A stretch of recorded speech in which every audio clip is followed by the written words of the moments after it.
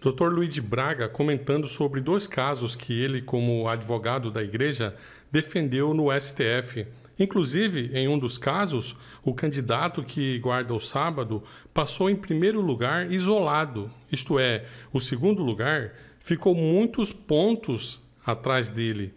Mas ele não foi chamado porque guarda o sábado, sendo que no sábado não tem expediente no tribunal objeto do concurso. Depois, o Dr. Luigi foi falar com o ministro sobre o caso e teve a oportunidade de expor a questão sobre o sábado, mostrando na própria Bíblia do gabinete do ministro. E quando o ministro viu que o sábado é um preceito divino que está ordenado na Bíblia, ficou muito impressionado, pois não sabia disso. Pensava que era só um capricho de uma religião mas certamente vai olhar com outros olhos agora toda vez que chegar um caso semelhante que envolva a questão do sábado. Eu, quando cheguei a Brasília, me deparei com esse caso em 2008. Então, nós estamos falando aí. Engraçado que nós estávamos falando de um processo que envolvia um jovem que daqui a pouco vai envolver alguém da terceira idade, né? Mas é uma, é uma, é uma coisa incrível. Que já está começando a vida dele, começando a vida dele profissional, se preparando para o concurso, como muitos dos nossos jovens podem estar passando por isso agora. E ele é, é, é e ele se preparou muito para isso, e era um concurso do Tribunal Regional Federal da Primeira Região. O nome dele é Geismário, é um nome fácil da gente guardar, porque é um nome diferente, né? E o Gesmário começou a, a, a, se preparar para a prova e ele queria muito isso. Queria muito isso. E ele fez a primeira etapa, Romero, e ficou em primeiro lugar. Mas não é um primeiro lugar daqueles mais simples, né? É um primeiro lugar isolado. Primeiro lugar isolado. E aí ele ficou desesperado quando marcaram a segunda etapa. E a segunda etapa foi marcada para um sábado. Uhum. Só que veja como a coisa começa aí um, um elemento complexo. A primeira etapa foi a, a, a segunda etapa foi marcada para um sábado para uma parte da turma e para um domingo para uma outra parte da turma. Nossa. E aí ele disse, bom, ótimo, né? Imagina, vão ter, vai haver, vai haver duas duas provas, uma num dia que para mim não tem problema nenhum, outro eu vou fazer um pedido porque a coisa mais natural do mundo, isso ser resolvido seria um problema. Uhum. E ele apresentou um pedido a, a, ao tribunal, né, na parte que estava administrativa, que estava organizando o concurso, e aí negaram. E ele ficou em pânico, porque ele disse, poxa, e agora? O que, que eu vou fazer? E uma parte dessa prova ia ser feita em Belém, né, a primeira turma do sábado em Belém, e a segunda turma em Manaus. E aí você já imagina a saga. E ele correu, e aí foi preparado um mandato de segurança, e apresentamos o mandato de segurança para o mesmo tribunal que havia negado administrativamente.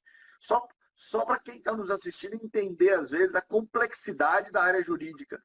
A gente está acostumado, às vezes, com coisas muito objetivas, opiniões assim, questões matemáticas muito definidas, e na área jurídica não é assim.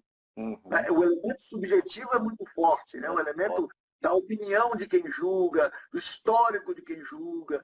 Aí a gente, a gente começa a entender um pouco dessa polêmica, né? De um juiz conservador, de um juiz liberal, né? de um juiz. É, é importante quem está nos assistindo que pode estar tá olhando, mas que, que, polêmica é essa que está aí né, no mundo, no mundo, com, falando de juízes conservadores, de juízes liberais, etc. Isso realmente é um debate interessante. O equilíbrio dentro do tribunal é muito importante. E nesse caso, valeu o equilíbrio. Olha que ironia. O mesmo tribunal que administrativamente negou, judicialmente autorizou. Nossa. judicialmente autorizou. Aí, com a liminar, veja, veja o desafio do Geismário. Veja, enquanto alguns, é, enquanto alguns querem relativizar a Bíblia, enquanto alguns querem relativizar o sábado, etc., o Geismário, para nós, ele é uma referência nisso. Né? Uma referência nisso. Porque o Geismário encarou o desafio, pegou, comprou uma passagem aérea com a liminar na mão, foi para Manaus, fez o teste, e veja, veja, Romeu, quando Deus quer escolher alguma coisa para alguma pessoa para poder fazer uma marca, né? Ele, ele não faz às vezes de brincadeira, né? Não mesmo. E mais uma vez o Geismário ficou em primeiro lugar isolado. Isso. Isolado fazendo. E aí começou uma saga de uma batalha inexplicável. Inexplicável. Eu estava conversando com ele esses dias, falei, Gismar, eu não tenho dúvida de que isso aí parece muito Deus endurecendo o coração de Faraó no, no Egito. Não tem explicação. Porque você ficou em primeiro lugar, né? E, Romulo, você também trabalha no setor público, você sabe Sim. que sentido faz o Estado não, escol não escolher o primeiro lugar isolado, cara. Não tem lógica. Isso tudo faz, ou seja, que não seja aí um elemento religioso muito forte, né? Uma Sim. questão, às vezes as pessoas não entendem, dizem, ah, a gente, o cristão não sofre perseguição no julgamento da DO 26, que trata do crime de homofobia. Quando eu falei isso, algumas pessoas do plenário começaram a rir. E diz, quando um cristão pode sofrer uma perseguição? Olha. E aí agora, visitando os ministros para poder falar sobre esse caso, para poder apresentar o caso, é, nessa ontem, é, é quarta-feira, nós tivemos com, com, o ministro Luiz Fux ali no, no, no Salão Branco para apresentar para ele o caso. E quando eu apresentei o caso para ele, ele disse, não, peraí, o que, que você está me dizendo? Porque às vezes as pessoas não acreditam que isso pode acontecer. Verdade. E eu disse aí, ministro, o senhor se lembra? Na ele, ele falou, eu me lembrei da, da, da, discussão da sustentação oral, lá da questão da DO 26, do, do crime de homofobia, que eu tinha mencionado. Eu disse, olha, os cristãos também podem ser perseguidos. Mas a questão é que a gente é perseguido em questões pontuais. Né? Às vezes as pessoas falam de bullying. Quantas vezes as pessoas já não estão ironizando? Né? ironizam com a crença, e aí agora vem um expoente e diz, olha, vamos relativizar a Bíblia, etc. Ou seja, isso tudo vai enfraquecendo o trabalho que a gente faz. Isso tudo vai enfraquecendo tudo que a gente constrói na questão de mostrar a importância da crença. Bom, e aí, mostrando isso para ele, ele disse, poxa, Luiz, o Supremo não tem se furtado a defender as liberdades e as garantias de minorias. E nesse caso específico é um verdadeiro absurdo, porque imagina, o Estado não selecionou o melhor porque ele guarda o sábado, entende? Né? É, Aí você fala assim, ah, mas o emprego vai trabalhar no sábado. Não, o emprego não tem nada a ver com o sábado. É, é o Tribunal Regional Federal, né? O concurso, TRF1. É o emprego do Tribunal Regional Federal, ou seja, é realmente uma questão, é realmente uma questão irônica para nós, icônica. Aí você começa a entender, eu estava falando com o Gesmário, e, e, e Deus abençoou o Gesmário grandemente, ele passou já em outros concursos, ele já está num concurso muito melhor, mas conversando com ele, ele falou comigo assim, ele falou, Luigi, eu quero entrar nesse concurso. Ele dizia, eu, eu quero, nem que seja para abrir mão e para o segundo lugar, mas é, é muito forte para mim essa questão, sabe? Muito simbólico. Porque né? ele passou os concursos depois, mas ele passou um tempo desempregado.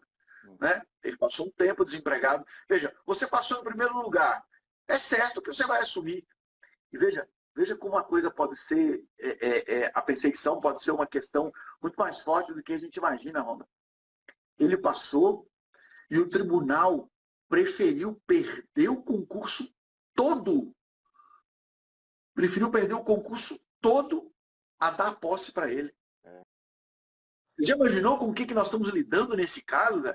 É uma coisa, não é uma coisa, não é uma coisa normal, é uma, é uma, é uma postura, é uma postura que você não consegue entender. A impressão que a gente tem é que lá atrás o Supremo ainda não estava maduro, o Estado brasileiro não estava maduro para lidar com essa causa. E que nesses 13 anos que esse processo está tá ali, esse processo amadureceu. Né? A, a, visão dos ministros, do próprio Supremo Tribunal Federal, o próprio conceito de liberdade religiosa, as mudanças que nós estamos vendo no Brasil, tudo isso que está acontecendo, a ampliação do debate trouxe uma maturidade maior e a sensação que nós temos é que agora nós estamos prontos para enfrentar o tema, nós estamos prontos para oferecer essa acomodação razoável. Agora, cada vez que adia, a gente entra no tema, discute, debate, a quantidade que a gente está falando sobre o sábado, a quantidade que a gente está falando sobre a lei de Deus, a crença. Você tinha que ver que interessante, quando um, um, um das pessoas, um dos ministros que eu fui visitar, ele falou assim, mas explica aí como é que é essa questão da, da... Como é que é esse negócio do sábado? De onde vocês tiraram isso? Aí, interessante isso, né? Eu falei, já ouviu falar do, dos Dez Mandamentos? É claro, entendeu? Claro. Pergunta de onde a gente tirou o sábado. Você pergunta, é claro, claro que eu já ouvi. Pois é, esse é o quarto. Aí, ah, mas não tem sábado lá. Né? É o quarto. Aí disse, não, aí eu peguei e falei assim, ó, ali no gabinete do senhor, eu posso pegar aquela, aquela Bíblia ali? Aí ele disse, pode, mas essa Bíblia, não sei se essa Bíblia tem isso. Eu digo, não, toda Bíblia tem. Toda Bíblia tem. Peguei, abri, mostrei. Aí ele disse,